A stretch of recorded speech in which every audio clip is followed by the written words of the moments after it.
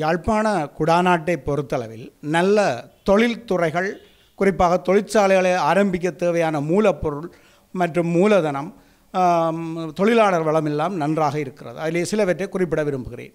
வள்ளிபுரம் முதல் நாகர்கோவில் வரை பிறந்திருக்கின்ற அந்த சிலிக்கா மணல் சிறந்த ஒரு கண்ணாடி தொழிற்சாலைகளை ஏராளமான தொழிற்சாலைகளை அங்கே நாங்கள் ஆரம்பித்து பல இளைஞர்களுக்கு வேலைவாய்ப்புகளை வழங்க முடியும். அதே நேரத்தில் உல்லாச பயணிகளையும் கவரக்கூடிய அந்த கடற்கரைகள் அங்கே காணப்படுகின்றன. அதே போல் சீமெந்து உற்பத்தி உப்பளம் ஆனையரவு இலங்கையில் உள்ள மிகச்சிறந்த உப்பளம்.